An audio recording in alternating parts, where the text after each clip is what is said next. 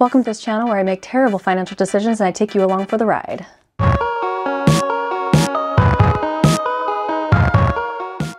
So, Black Friday. We all love it, but we also all hate it. It's a time of the year where everyone just can't help their greedy little selves and get their hands on some deals. Whether it's for family and friends that they're trying to buy gifts for, or for a lot of us, it's because we just want more crap. Behold my stuff. Because aren't we all a little materialistic, especially on these channels where we're devoted to just buying crap? So on one of my recent videos, someone commented that they would love for me to try cider. And if you haven't heard of cider, have you even been on the internet? Because they really like to target those ads towards anyone who likes cottagecore, preppy, cute, pretty much any girly aesthetic and even some sporty aesthetics. I too have been blasted with constant ads from them. And I finally succumbed, is that, the, is that a word? Succumb, succumbed? I finally broke down and and I, and I bought some stuff. Uh, especially after I got that comment, I was like, you know what? I could honestly review this brand. Now, I do have a little bit of experience with this brand previously. I have on a couple of occasions bought some stuff. So this is not a first impression review. I already have an opinion of them, which I will preface this review with. And that is you get what you pay for in the purest of sense. It is another one of those brands where it's cute, it's cheap, and the quality is meh but it's not terrible. I would say if I were to compare it to other fast fashion brands that people know about, it is like between Shein and Forever 21. In fact, I feel like it's neck and neck with Forever 21 in terms of quality. And beating out Shein is not, well, let's just say in terms of the bar, the bar is on the floor with regard to Shein. So being above that is not is not an accomplishment. So it's definitely one of those brands where it's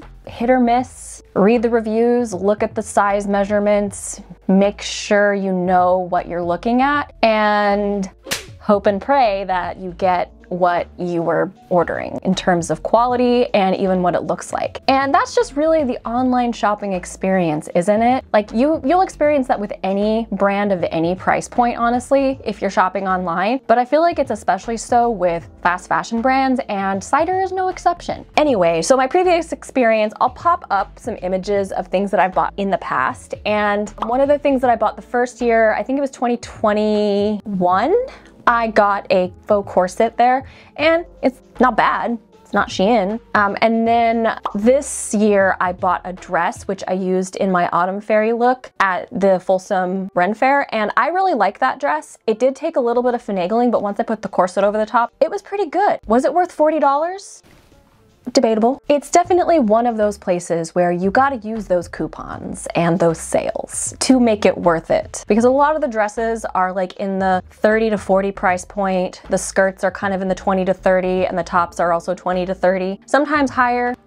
So Black Friday was the perfect time to drop in there and give them a, a good old look-see and try them out. So that's what we're gonna do today. I'm gonna be trying on some clothes that I bought during the Black Friday sale. I had some store credit that I had won through like their little wheel thing. I also utilized, I think, a 15% off coupon and pretty much everything was 25% off. So it all, it, it, I'll put like the price breakdown on the screen here of like what the retail value of every, everything that I bought and what I actually paid I'm also going to preface what my size is before I go to try everything on. And as I try everything on, I will tell you what size I got so that if you find those items on the website or the app, you will have some point of reference because everything fits a little bit different. Let me tell you. So I am a, or typically a US size four. I have a 35 inch bust, which accounts to like 34C or 32D, depending on the bra maker. I have a 27 to 28 inch waist, depending on how much dairy I've consumed, and my hips are about 37 to 39, depending on how many squats I've done. I would say it's like 38. Let's just go with 38 at the widest point. So that's what we're working with. And so let's go ahead and try some stuff on, shall we?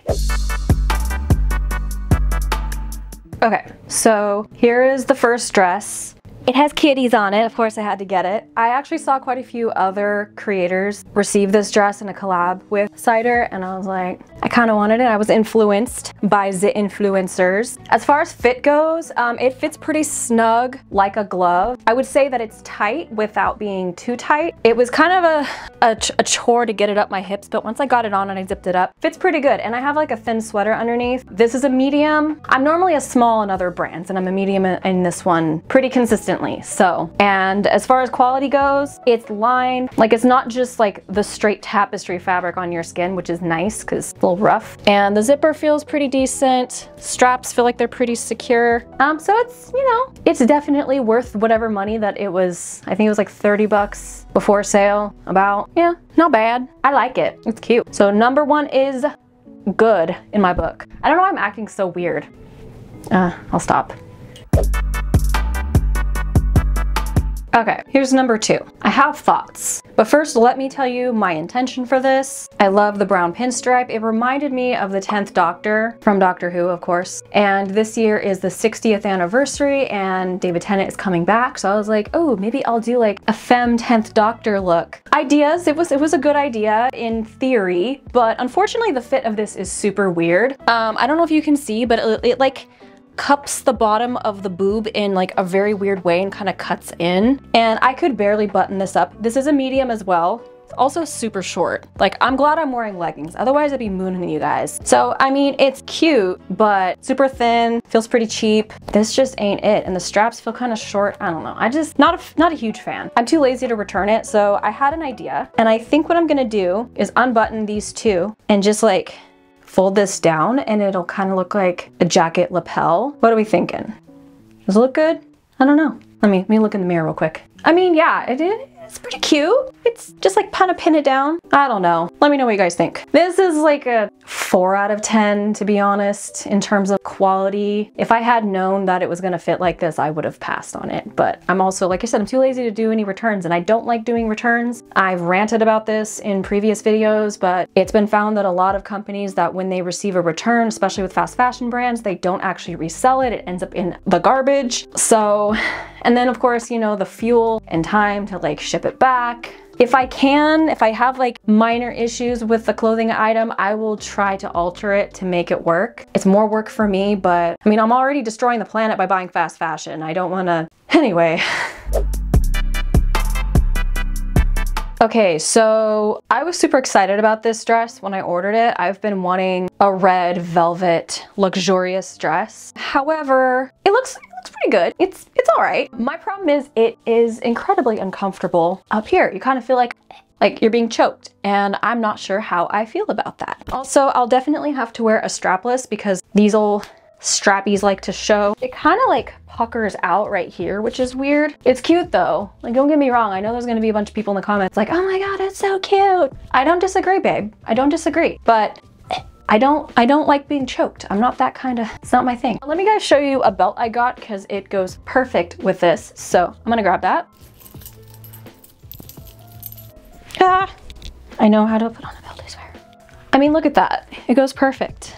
I've totally been influenced by the Whimsigoth style recently. I did a Whimsigoth show on Whatnot and I low-key wanted to keep everything. It's not like my personal aesthetic. You guys know more like cottage core, fairy core, hobbit core, but I like Whimsigoth as well. And I've been watching a lot of early 2000s, late 90s shows that have that vibe lately. It's kind of gotten me feeling nostalgic and like loving that vibe. So I had to indulge myself a little bit and maybe get something with that style. I just, like I said, I feel like I'm dying. Now let me show you actually how I tried on this dress initially. I put it on wrong and I forgot how it was supposed to look. So there is a possible solution, but it only works yet again in theory. So this is how I put it on initially because I forgot how it worked. And I was like, when I first tried it on before filming, I was just rushing. And I was like, oh, this is kind of cute, but why is the back weird? Bruh. Yeah, it, it looks good from the front, but from the back it's kind of busted. I'm gonna maybe see if there's a way I can make this like the permanent neckline because I actually don't mind it like this because I'm not being strangled. Okay, so I have thoughts. This is probably the most disappointing out of all of the items. First of all, I don't know how it looks on camera right now because my aux cord for my microphone is covering the viewfinder, but on the website, it looks like this. Tell me what color that looks like. It looks like mustard. Now, in real life, this is very brown. It is like camel taupe tan brown, very suede color. And then in the description of the dress, it describes it as orange. Which is it, Cider? Is it yellow? Is it orange? Or is it brown? I mean, I'm not mad. This color is pretty cool. It's very like hobbity and I can make it work. It's just not what I was expecting. That's kind of what I was alluding to earlier when I was saying that you don't know what you're gonna get. Another thing is that it is incredibly short. It is practically a tunic and I'm glad I'm wearing my, my leggings because it, it's, it's a shirt. Ain't no way in heck I'm going out in public bare my legs. Plus they're pretty white and pasty anyway. I think I'd blind everyone.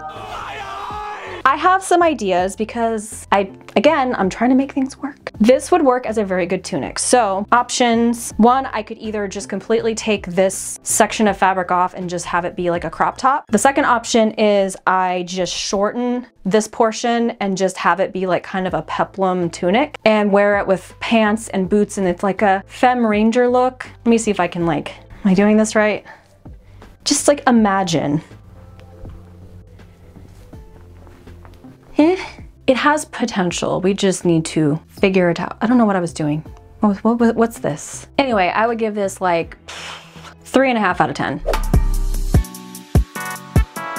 So this is the last item. These velvety starry bell bottoms. These are a medium. I say they fit me really good and they're pretty decent length. The, the actual bell part is high-low. So I envision these with some platform boots. Another Whimsigoth staple. I would say one caveat to this, one con is that if you have sensory issues, if you're neurodivergent, you might have a problem with how they feel. Um, it feels kind of weird. From the outside, it's like, whoa, what is this? And then on the inside, it's okay. But the problem that I foresee for people who have problem with seams rubbing up against them is this is cut to where it stops here and then there's a seam all the way around because this is cut kind of like a circle skirt so that it has like the most bell. So there is a rolled seam right here where you can feel it right above your knee. So it feels a little weird. I don't really have a huge issue with the feeling of seams, but I can see it being a problem for someone else. So keep that in mind. But they're super cute.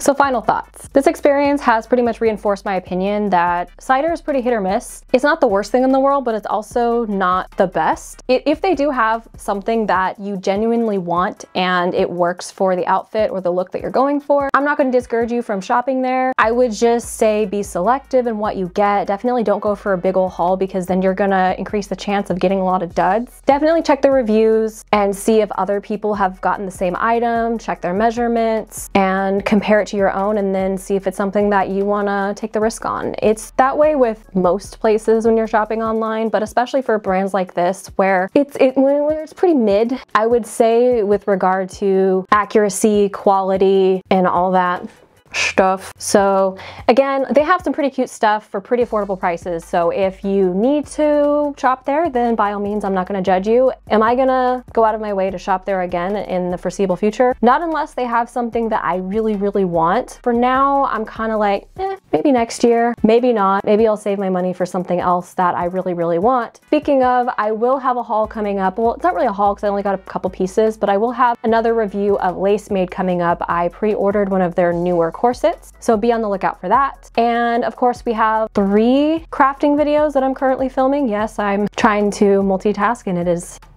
going as you would expect for someone with ADHD. Make sure you guys like this video, make sure you subscribe, hit that bell notification so you are notified when I post another video. And because YouTube is sometimes stupid, make sure you also follow me on my socials because I always post about my new videos over there. And yeah, definitely subscribe. Definitely join the family because the more people that subscribe to my channel and watch my content, the more that daddy Google pays me for putting their annoying ads over my content. I would like to pop off in 2023 so this could actually be a sustainable job for me because I love doing this. I have never felt more free and like I'm, I'm just like expressing myself and being who I am at my core and I love it and I love that you guys are coming along with me and being part of this journey. Every time I see a familiar face or familiar name in my comments, I get so happy. So thank you guys so much for always being there for me. And if you are new, this is the first time that you're on my videos, please binge my videos. I, re I really, really appreciate it. And I look forward to getting to know you in the comments. Yeah, I love you guys so much. Have a wonderful rest of your week and I'll, I'll see you next time, I suppose.